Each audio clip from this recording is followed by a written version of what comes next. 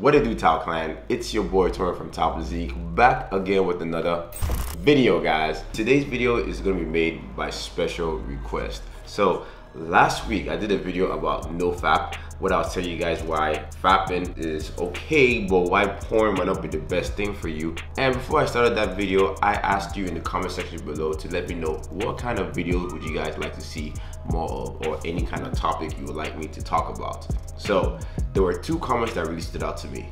The first one was you guys said you want to see more daily vlogs where I talk about workouts and how I eat and all that good stuff. And you know what? I'm down with that. Moving on forward, guys, more vlogs.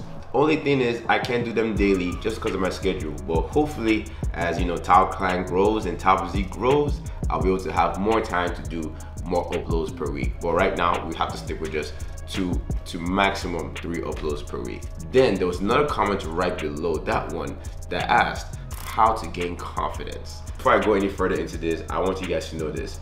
I am not a therapist, right? I am just a personal trainer. Even though, yes, in my job, I pretty much act like a fake therapist where I have to listen to people's problems. I am not a professional at this, right? So you need to take my advice with a grain of salt and don't get mad typing all rubbish in the comment section below just because you don't agree with what I'm saying. So guys, in this video, I'm gonna show you guys my perspective on how to gain confidence and become a more confident, more self-assured you.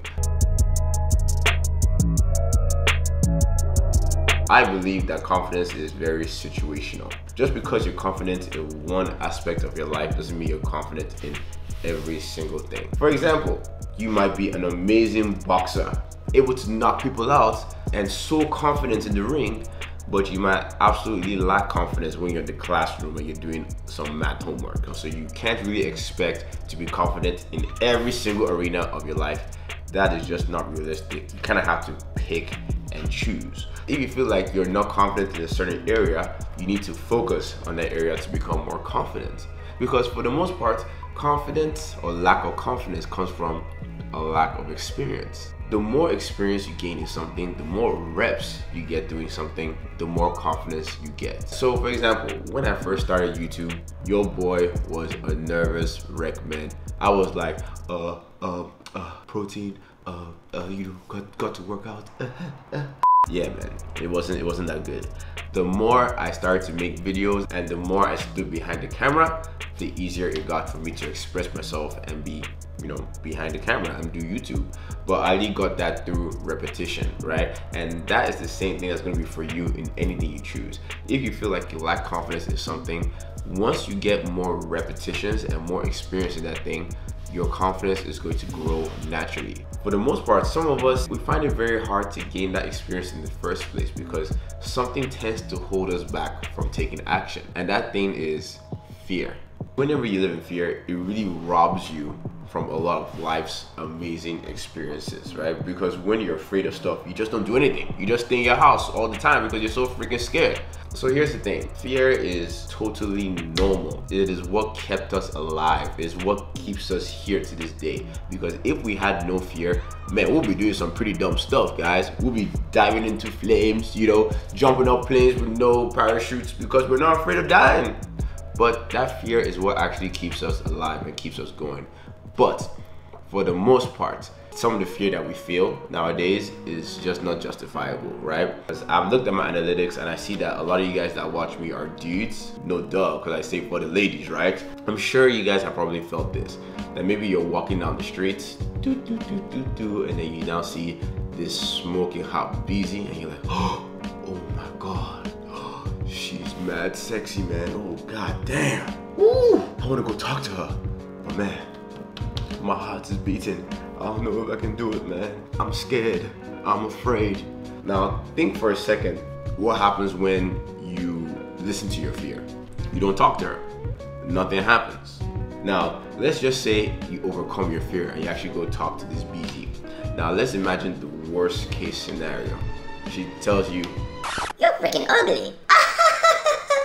oh, oh, what a schmuck thinking he had a chance with me. And I'm sure if something like that happened to you, you'd be pretty butthurt. But guess what, man? After your ego settles and you know that hurt goes away, you're still alive. You can still breathe. You can probably still see. You can still meet another busy and bang the hell out of her later. So why is it that that fear stops you from making a move? Now, think about what would have happened if you actually overcame your fear and at the end, she was actually into you. You might have an amazing relationship with this woman. In fact, this woman might become the love of your life. But you wouldn't know that unless you act regardless of your fear.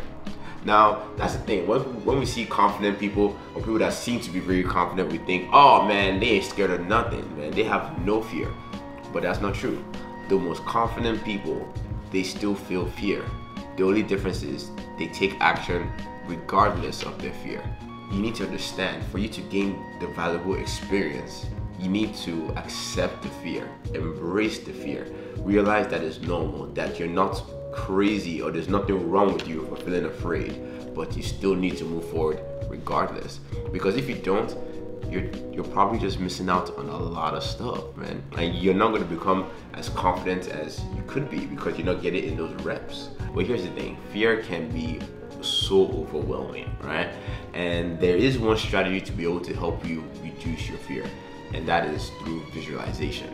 Visualization, I know some of you guys are gonna be like, oh man, Tome, that's foo-foo, dude. Jesus, where the hell is this channel going, man? This guy's lost his mind. But guys, chill out. Now, the thing with visualization is this though.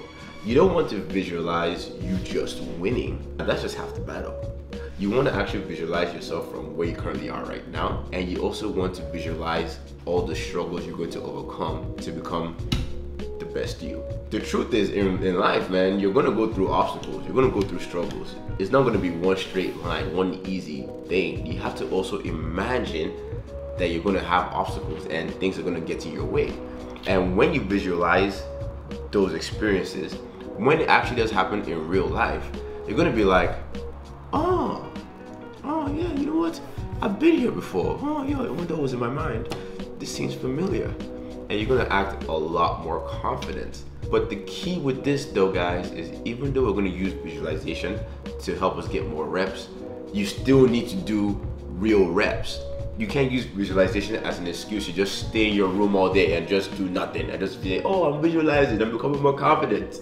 Nah, that doesn't work you still need to do the rest because that physical act of really doing it is what's the most important and the visualization is just like a supplement. It kind of helps you get a little bit more done faster but you really have to take action. That is really the most important thing. When it comes to gaining more confidence, you just have to just steamroll your way through and just keep taking action and through repetition, through movement, through gaining that momentum, you can gain more confidence. Confidence is really a form of self-trust because if you feel like you lack confidence in yourself it really just means you don't trust yourself and guys i want you to realize that you can do anything that you put your mind to absolutely anything and whatever decision you choose to make is the right one and you just have to trust yourself that you're always making the right decisions and that whatever goals you want to achieve that they're totally achievable it's that trust that will really give you that self-confidence. So you need to give yourself positive affirmations and realize that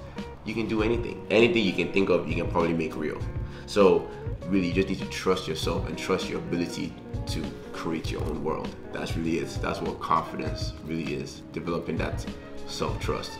So guys, love yourselves, trust yourselves. So with that guys, I'm gonna wrap up this video. If you guys like this content, you know what to do. Go ahead and give this video a thumbs up.